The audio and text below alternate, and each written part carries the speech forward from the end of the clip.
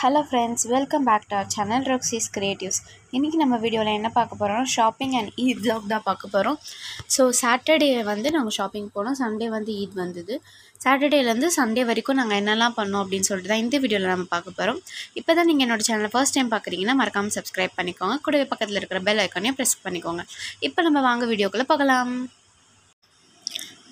So நாங்கள் Saturday morning வந்து D நகருக்கு கிளம்பிட்டோம்.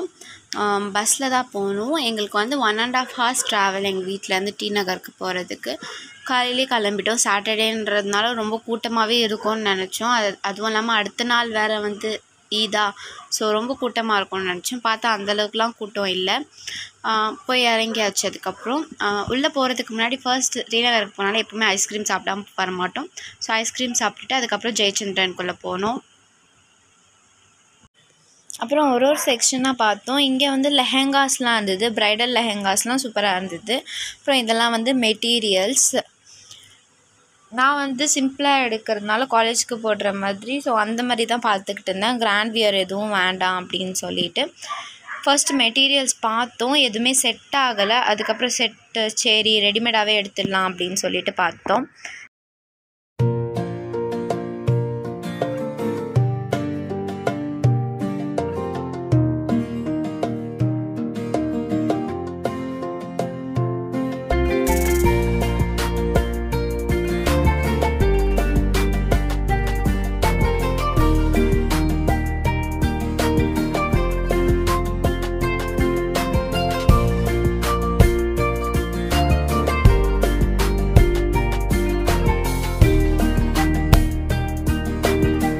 அதுக்கப்புறம் ஃபைனலாக ஒரு ட்ரெஸ்ஸு வந்து செலக்ட் பண்ணி பில் போட போயாச்சு. அம்மா வந்து பில் போட்டுட்டு இருந்தாங்க.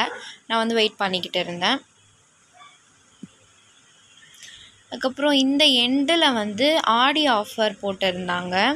ஸோ ட்ரெஸ்ஸஸ்லாம் வேறு லெவலில் இருந்தது. ஃபைவ் தௌசண்ட் பர்த் ட்ரெஸ்லாம் வந்து two thousand five hundred two thousand thousand five hundred ரேஞ்சுக்கெலாம் போட்டிருந்தாங்க. எல்லாமே சூப்பராக இருந்தது. ஏதாவது ஃபங்க்ஷன் இருந்தால் வாங்கலாம். சரி இப்போ எதுக்கு? அப்படின்னு சொல்லிட்டு தான் நாங்கள் எடுக்கலை. எனக்கு ட்ரெஸ்ஸு செலக்ட் பண்ணி முடிக்கிறதுக்கே டூ தேர்ட்டிக்கு மேலே ஆயிடுச்சு. சரி அதனால பசிக்க ஆரம்பிச்சிச்சேன்னு சொல்லிட்டு ஃபுட் கோர்ட் எங்கன்னு கேட்டோம். அது வந்து ஜென்ஸ் செக்ஷனில் தான் இருக்குது அப்படின்னு சொன்னாங்க. ஆப்போசிட் பில்டிங்னு சொல்லிட்டு. சரின்னு சொல்லிட்டு அங்கே போனோம் நாங்கள்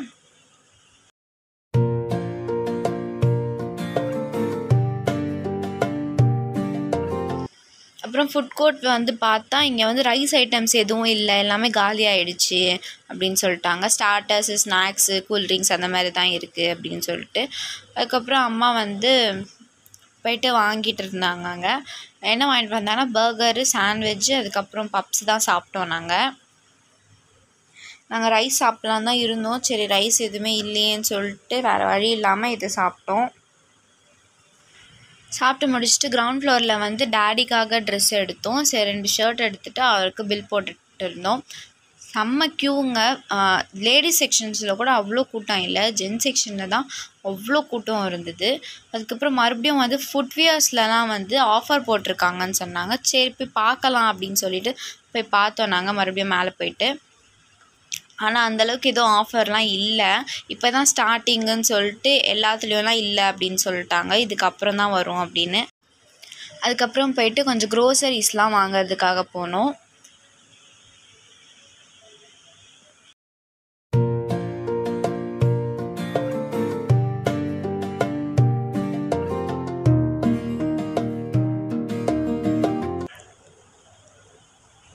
இங்கே வந்து ஃபஸ்ட்டு வந்து ட்ரை ஃப்ரூட்ஸ் வாங்கணும்.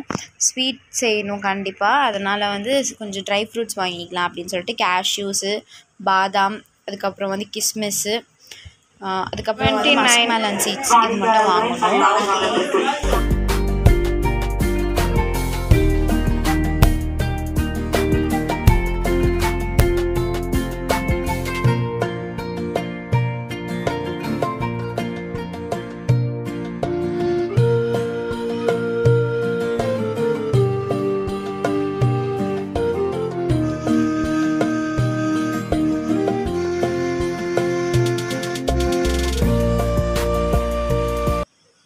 அப்புறம் தேவையான பொருள் எல்லாமே எடுத்துகிட்டு பில் போடுறதுக்கு வந்தாச்சு.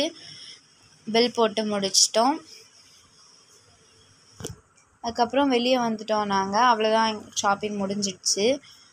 ஸோ இந்த இடத்துல வந்து தேங்காய் பூ வித்துட்டு இருந்தாங்களா? என் தம்பி வந்து ஃபோன் பண்ணி வர கேட்டான். தேங்காய் பூ வாங்கிட்டு வாங்க வரும்போது அப்படின்னு சொல்லிட்டு சரின்னு சொல்லிட்டு அது வாங்கிட்டு அதுக்கப்புறம் இங்கே வந்து இந்த ஸ்வீட் வாங்கணும்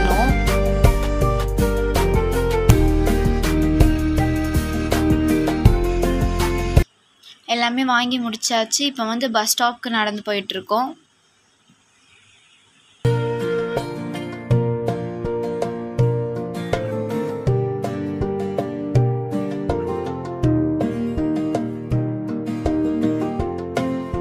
என்றைக்கும் இல்லாமல் அதிசயமாக இன்றைக்கி வந்து போன உடனே டூ மினிட்ஸ்லேயே பஸ் வந்துச்சு. ஸோ பஸ்ஸில் ஏறியாச்சு.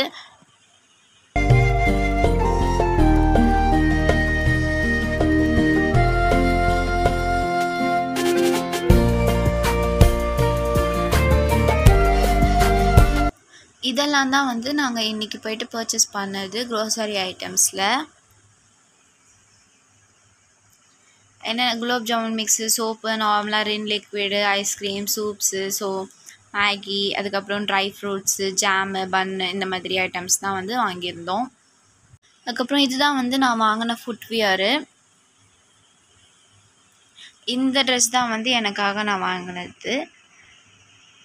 அப்புறம் அது இந்த கிளிப்பு வாங்கியிருந்தேன். கொரியன் ஸ்டைல் கிளிப் அழகாக இருந்ததா? சரின்னு சொல்லிட்டு அதுக்கப்புறம் குட்டி கம்பல் ஒன்று வாங்கினேன். ஸோ இன்றைக்கான சாட்டர்டே வந்து ஷாப்பிங்கோட முடிஞ்சிடுச்சு. ஸோ அடுத்த நாள் காலையில் வந்து அது அன்றைக்கான ப்ரிப்பரேஷன் எல்லாம் ஸ்டார்ட் பண்ணியாச்சு. ஃபஸ்ட்டு காலையில் எழுந்தவொடனே கடல் பாசி செஞ்சிடலாம் அப்படின்னு சொல்லிட்டு தான். ஏன்னா அது செட் ஆகிறதுக்கு வந்து கொஞ்சம் லேட் ஆகும். அதனால் வந்து ஃப்ளேமில் வந்து பாலை வச்சுட்டு அது பாயில் ஆனதுக்கப்புறம் தேவையான அளவு சுகர் போட்டுக்கோங்க.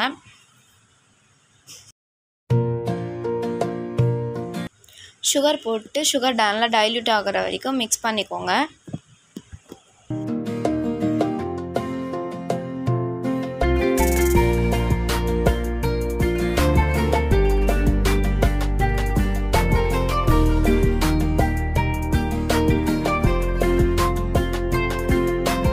சுகர் கரைஞ்சி மிக்ஸ் ஆனதுக்கப்புறம் இது வந்து சைனா கிராஸ் அகர் சொல்லுவாங்க. ஸோ இதை தான் இதுதான் வந்து கடல் பாசி.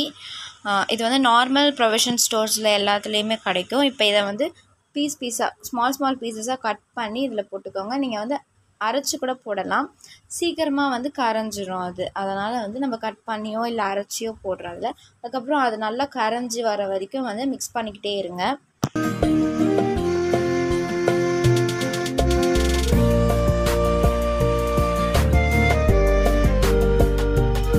அது நல்லா ஃபுல்லாக கரைஞ்சிட்டோடனே ஃபுட் கலர் ஆட் பண்ணிக்கோங்க. உங்களுக்கு என்ன கலர் வேணுமோ நீங்கள் ஆட் பண்ணிக்கலாம்.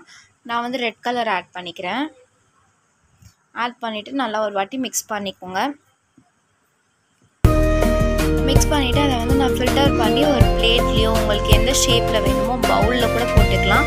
ஸோ அந்த மாதிரி பிளேட் ஆர் பவுல் இதில் வேணால் வந்து போ ஃபில்டர் பண்ணிக்கிட்டு ஃப்ரிட்ஜ்லேயும் வைக்கலாம். நீங்கள் வெளியேவும் வைக்கலாம். ஃப்ரிட்ஜில் வச்சிங்கன்னா கொஞ்சம் சீக்கிரமாக வந்து செட் ஆகிடும் அது. வெளியே வச்சிங்கன்னா ஒரு ஃபைவ் ஹார்ஸ் அந்த மாதிரி ஆகும். ஸோ அவ்வளோதான் கடல் பாசி வந்து ரெடி ஆயிடுச்சு.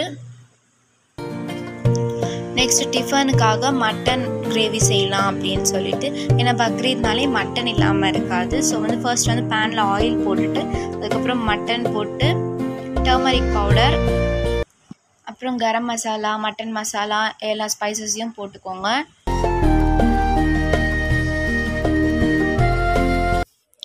அதுக்கப்புறம் ஒரு one or one and half spoon ginger garlic paste and then வந்து கேர்டு ஆட் பண்ணிக்கோங்க. கேர்டு எதுக்காக ஆட் பண்ணுறோன்னா அந்த மட்டனை வந்து சாஃப்ட் ஆக்கிறதுக்காக ஆட் பண்ணுறோம் ஸோ சீக்கிரமாக வந்து வெந்துடும் அந்த மட்டனும் எல்லாத்தையும் ஆட் பண்ணிவிட்டு மிக்ஸ் பண்ணிக்கோங்க. மசாலாலாம் நல்லா மட்டன் கூட மிக்ஸ் ஆகுற மாதிரி. அதுக்கப்புறம் உங்களுக்கு தேவையான அளவு சால்ட் போட்டுக்கோங்க.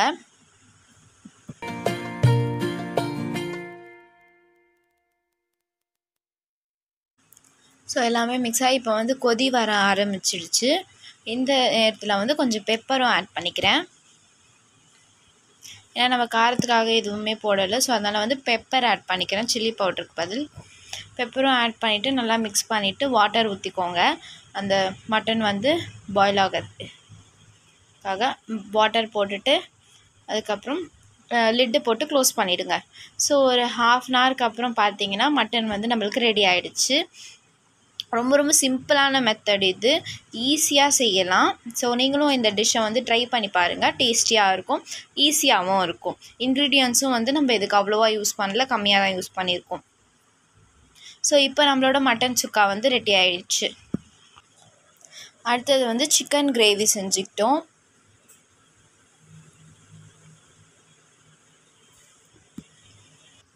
சைட் பை சைட் சிக்கன் கிரேவியும் செஞ்சாச்சு. அதுக்கப்புறம் தொழுதுட்டு சாப்பிட உட்காரலாம் அப்படின்னு சொல்லிட்டு எல்லாத்தையும் ரெடி பண்ணிவிட்டு சாப்பிட உட்காந்தாச்சு.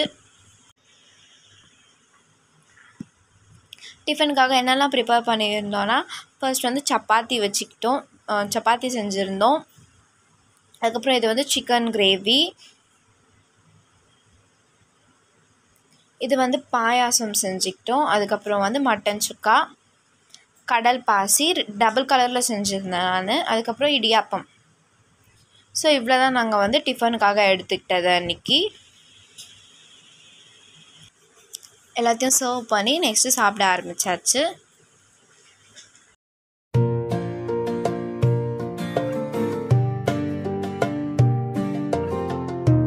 டிஃபன்லாம் சாப்பிட்டு முடிச்சுட்டு அதுக்கப்புறம் தான் வந்து பூ கட்டவே நான் ஆரம்பித்தேன் ஏன்னா வந்து சாட்டர்டே வந்து ஷாப்பிங் போயிட்டு வரதுக்கே நைட் ஆகிடுச்சி அதுக்கப்புறம் செம்ம டயர்ட் ஆகிடுச்சின்னு சொல்லிட்டு தூங்கிட்டோம். மெஹந்தி கூட வைக்கல நான் இந்த வாட்டி. அந்தளவுக்கு டயர்டாக இருந்தது. ஸோ அதுக்கப் அதனால் வந்து பூ வந்து வாங்கிட்டு வந்து வச்சாச்சு. ஒன் டே பிஃபோரே அதை வந்து சாப்பிட்டுலாம் முடிச்சுட்டு அதுக்கப்புறம் தான் கட்ட ஆரம்பிச்சிது.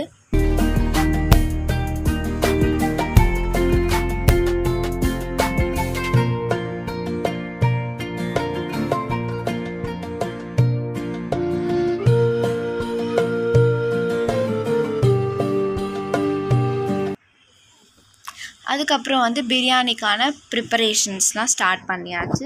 ஸோ ஆனியன் டொமேட்டோ எல்லாமே கட் பண்ணி வச்சாச்சு.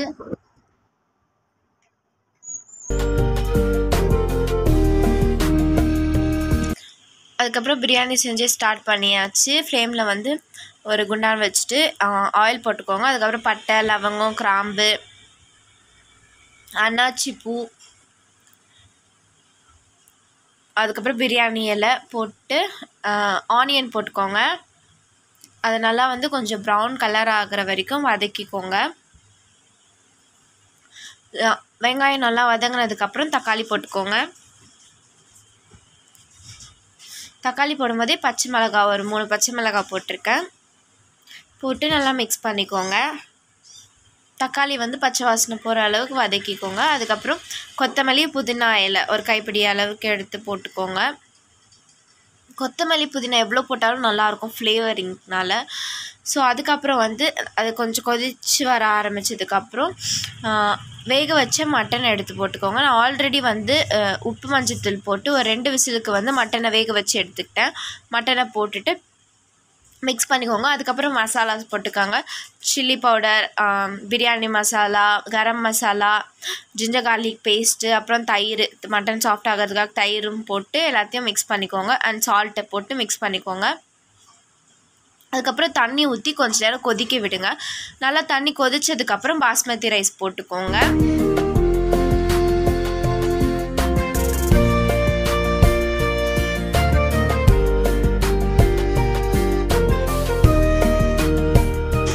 ரைஸ் போட்டுட்டு ஸ்லோவாக மிக்ஸ் பண்ணி விடுங்க. அரிசி வந்து உடையாமல் முழுசு முழுசாக இருக்கும் அப்போ தான் நீங்கள் ஃபாஸ்ட்டாக ஏதாவது ஒரு டேரெக்ஷனில் மிக்ஸ் பண்ணிங்கன்னா அரிசி உடஞ்சி குழஞ்சிடும் ஒரு மாதிரி சாப்பாடு. அதனால் வந்து கொஞ்சம் ஸ்லோவாக மிக்ஸ் பண்ணி விடுங்க. அதுக்கப்புறம் ஒரு பத்து நிமிஷம் தம் வச்சு எடுத்திங்கன்னா பிரியாணி வந்து ரெடி ஆகிடும் ஸோ பிரியாணி ரெடி ஆனதுக்கப்புறம் நாங்கள் வந்து சாப்பிட ஆரம்பித்தாச்சு நாங்கள் அதுக்கு வந்து சைடிஷ் வந்து raita and chicken sixty five தான் எடுத்துக்கிட்டோம்.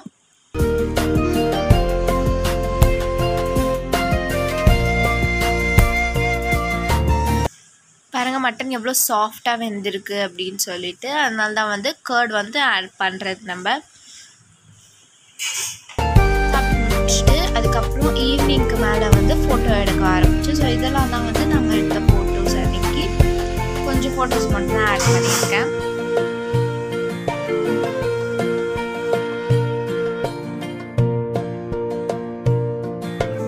ஸோ இப்படி தான் வந்து எங்களுக்கு அன்றைக்கி ஈத் போச்சு. இந்த வருஷம் ஈத் வந்து எங்கள் வீட்டில் நாங்கள் ரொம்பவே சூப்பராக பண்ணோம். உங்களுக்கு எப்படி போச்சுன்னு சொல்லிட்டு கமெண்ட் பண்ணுங்கள் அண்ட் இந்த வீடியோ உங்களுக்கு ரொம்ப பிடிச்சிருக்கும்னு நினைக்கிறேன். பிடிச்சிருந்தா லைக் பண்ணுங்கள் ஷேர் பண்ணுங்கள் உங்கள் ஃப்ரெண்ட்ஸ் அண்ட் ஃபேமிலிஸ் கூட. அண்ட் மறக்காமல் என்னோடய சேனலை சப்ஸ்கிரைப் பண்ணிக்கோங்க. கூடவே பக்கத்தில் இருக்கிற பெல் ஐக்கானையும் ப்ரெஸ் பண்ணிக்கோங்க. அப்போ தான் நான் எப்போல்லாம் வீடியோஸ் அப்லோட் பண்ணுறேனோ அப்போல்லாம் உங்களுக்கு உடனே உடனே நோட்டிஃபிகேஷன்ஸ் வரும். ஸோ தேங்க்யூ ஃபார் வாட்சிங்